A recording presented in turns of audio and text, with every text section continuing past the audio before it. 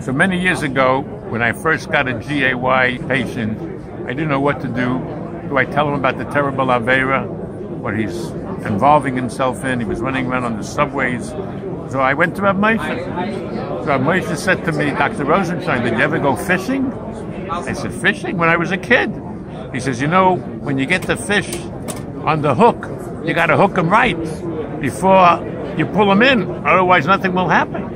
The same thing goes for your patient. Make sure you have him hooked before you tell him any mussar. I learned from our Moshe a tremendous principle and how to deal with all of my patients. He said, get him hooked first. We helped that guy. He went back to his wife and three children, and he never again did those terrible Averas because I listened to Rav Moshe, the Godel Shebegdolim of the Torah. Thank you.